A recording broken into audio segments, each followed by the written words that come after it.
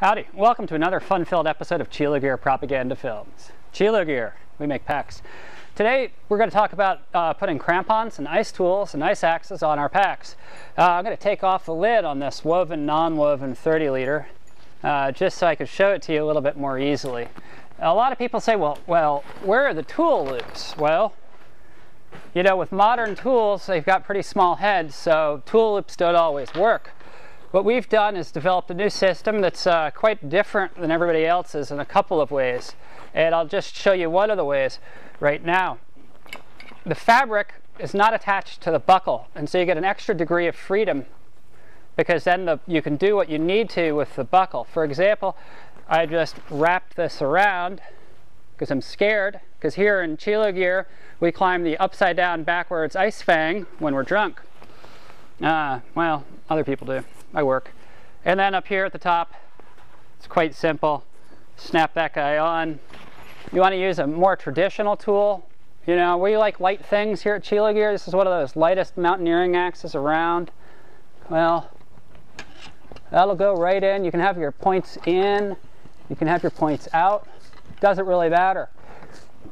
With the new 30 liters, you can also just snap a couple together or the two those two loops together and get something else. So here we go again and I'll just uh, flick that on and Shazam there's my tool. Uh, I want to take another technical tool, no problem. And this is where the degrees of freedom come into play again.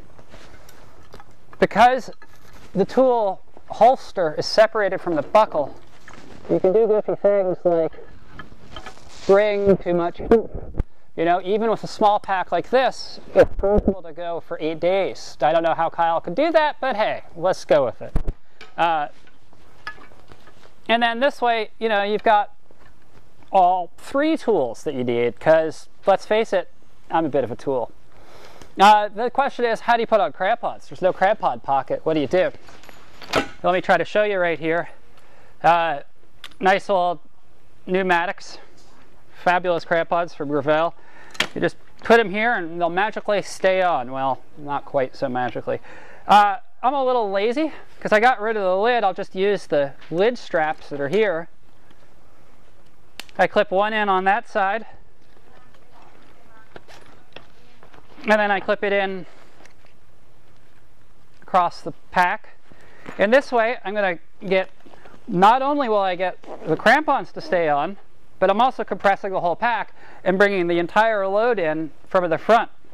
Well, gee, that was so easy that I think I might just do the same thing on the other side. No worries.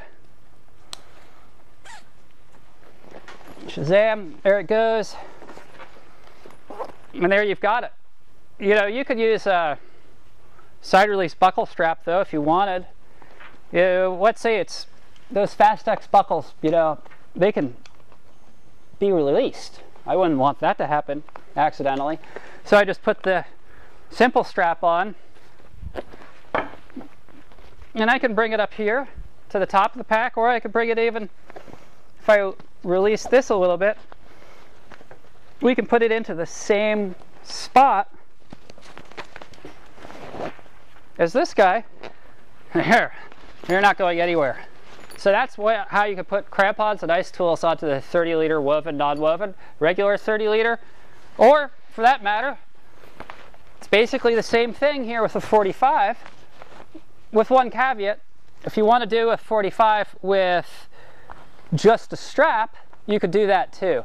Because the 30 liter is so small, it's a lot easier to have the strap go all the way back to the suspension rather than have something else going on in the front. Because this guy, I mean, look, he's a little one, but it's big enough for eight days. Well, there you have it on putting straps and stuff onto a CiloGear 30 liter WorkSack and a CiloGear 45 liter WorkSack. See, it comes off all nice.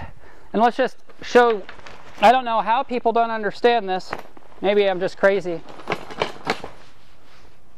But here's the tool attachment on the bigger pack as well. Groovy? Got it? Good. CiloGear Propaganda Films. Was glad to have you over today. Bye.